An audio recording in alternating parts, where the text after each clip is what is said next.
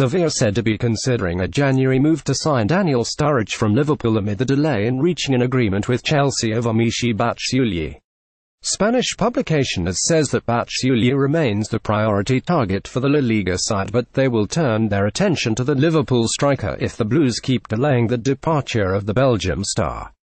Sevilla trying to bolster their attack during the current January transfer window following a disappointing start to the season.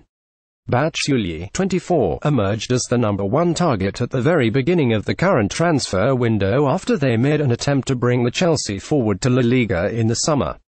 The 24-year-old forward has barely played under Antonio Conte during the opening half of the season and it has been said that he is also likely to make the switch to Spain in order to secure more regular time.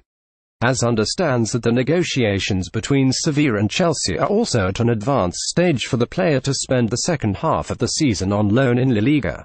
However, the deal is currently on hold with Conte having asked the Blues to sign a replacement before sanctioning the departure of Alvaro Morata's current backup.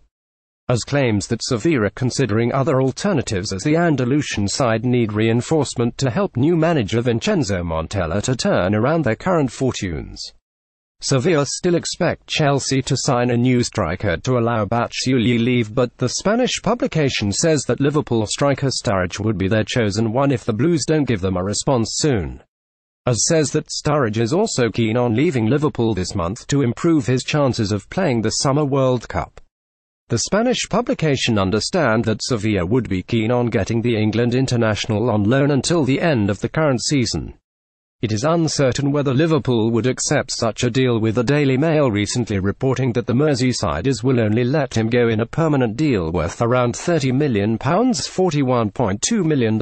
Jurgen Klopp refused to rule out Sturridge's departure when asked about the future of the £150,000 a week forward last week. I have nothing to say about that. It's how it is. We will see. Until the 31st of January a lot of things can happen in the transfer window, the Liverpool said boss when asked about Sturridge. You will probably know before I do. But I have nothing to see. We will see, not only with Daniel, we will see what can happen in the transfer window. Sturridge has only started five Premier League games this term. Getty Images